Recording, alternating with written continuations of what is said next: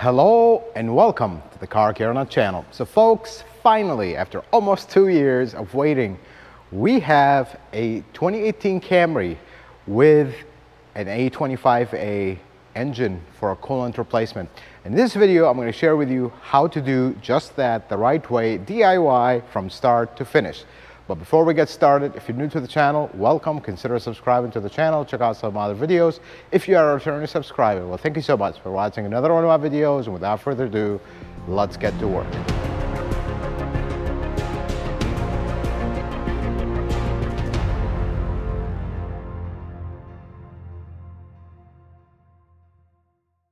So you're going to want to lift the car up because these new cars have a lot of covers. You can just use rams, jack stands, whatever. Just do it safely. These covers have a lot of bolts and clips. Any clips that break, do replace them. Take your time. Take pictures if this is not something you've done before. That is just, uh, you cannot access the radiator without removing this huge cover. Otherwise, it becomes really cumbersome.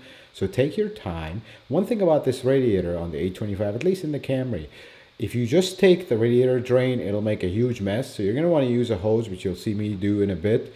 There is no block drain on the A25, so don't go looking for one. Just do the radiator and you're good to go just like that. Use a hose, drain it, let it finish, and you're good to go. So now that you're done draining the coolant, you must use an overfill funnel. These are available on my Amazon affiliate store. Now, I'm to connect it to the radiator. And before we start filling the coolant, here's what you're going to do. Two things that are different about this engine. So the first thing is, before you start filling the coolant, there's a hose right here for the EGR valve. We're going to take this hose off. Pull the clamp,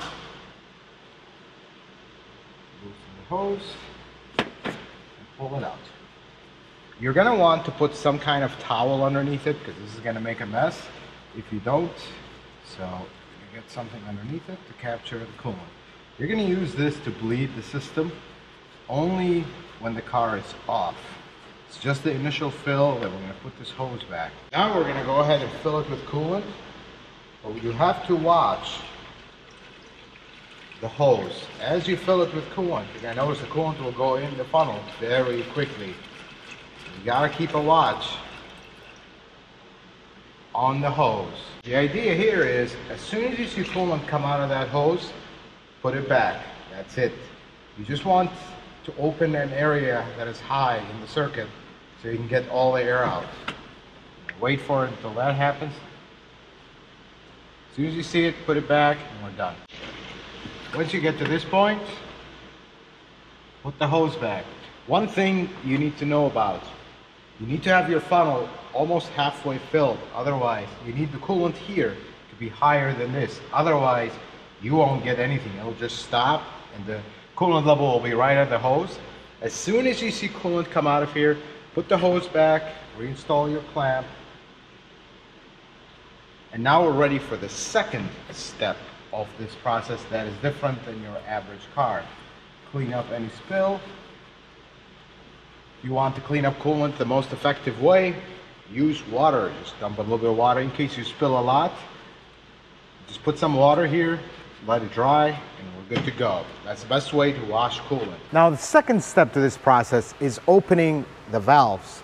Typically, you can use a scan tool to do that. It basically orientates the valves, puts the computer in a mode that is coolant bleed mode, opens the valves. Since the water pump on this engine is electronic, you want it to run at full speed so we can circulate the coolant everywhere, push the air out. But Toyota, because they are Toyota and they are actually DIY friendly, believe it or not, although some people don't believe it, there is a way to do it manually and it's so simple. All you have to do is maintain the engine speed over 1500 RPM when you're in park. So I'm gonna use a pedal depressor, just like this one. I will leave this in my Amazon store so in case you want to buy one. All this does is just holds the throttle. What we're gonna do is we're gonna make sure that our RPM is at 1700, 2000 RPM, that's fine. With the heater off, fan off, and AC off. All that is off. You do not need to do anything.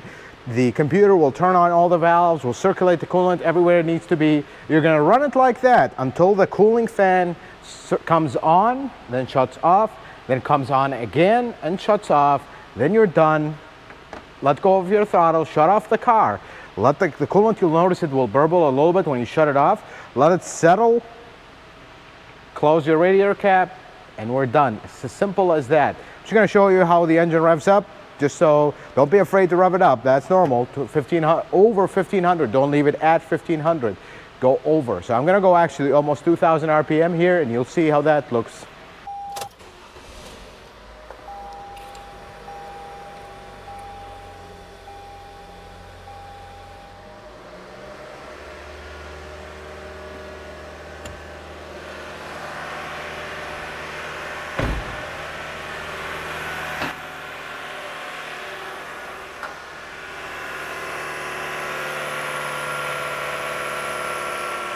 We're gonna let it run like this. Don't be afraid of the high RPM.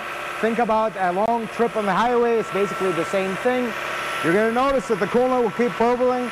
Make sure your coolant in the funnel is not very low. It's always halfway. Don't leave it too low here. We're gonna let the engine run. When the idle comes down like this, go back and double check.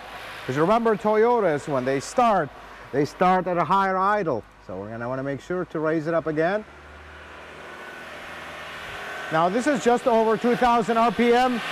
We want to be done with this job. The customer's been waiting patiently, which we're gonna talk about the customer in a bit. But we're gonna let it run, let it bleed. We'll fan, the cooling fan will come on twice, cycle on off twice. Make sure your heater is off. I know some folks will wanna turn on the heater.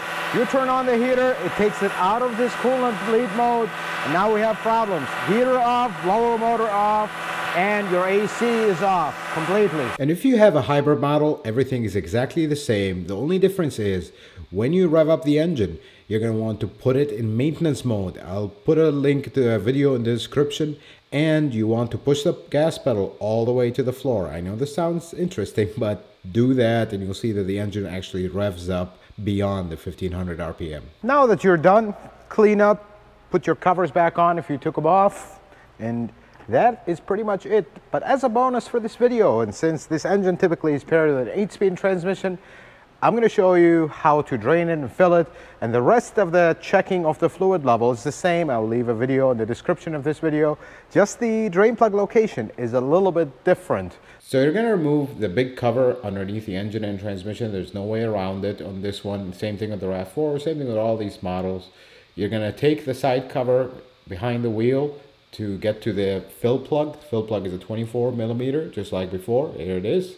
Very similar fill plug to any other transmission. So the drain plug on these 8-speed transmissions is a little bit different. It's a 10 millimeter hex. You're going to take the 10 millimeter hex out. A good grip on it. There we go. Now we're going to drain the initial fluid.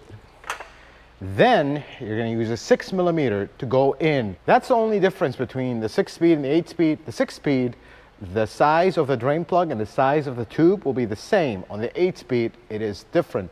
It's actually an easier location. There's no oil pan. Oil pan is over here.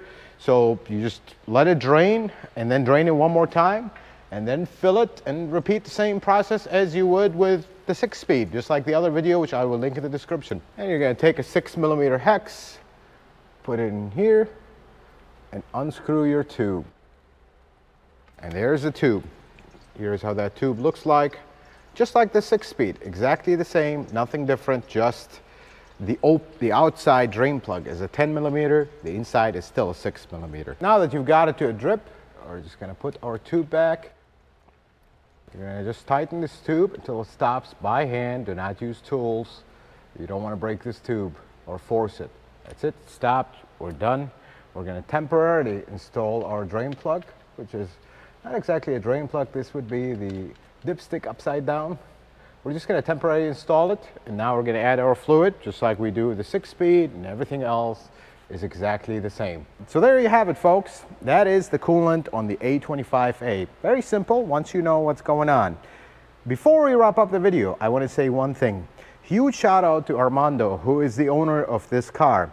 Armando is a viewer. He drove two and a half hours all the way from Wisconsin here just for us to be able to do this video. So every time you use this video, I'd like you to write in the comments, thank you, Armando. He made that long trip, sacrificed his time and his day for the sake of the DIY community. And I am more than happy to accommodate him, get him in here so we can do this video for you guys. So thank you, Armando, truly from the Car Care Nut family. Folks, I hope this video was helpful and informative. I hope you learned something new. If you like it, consider giving it a thumbs up. If you're not a subscriber, consider subscribing to the channel. Check out some other videos. And until the next video, folks, may the Lord bless you and keep you, and you have yourself a wonderful day.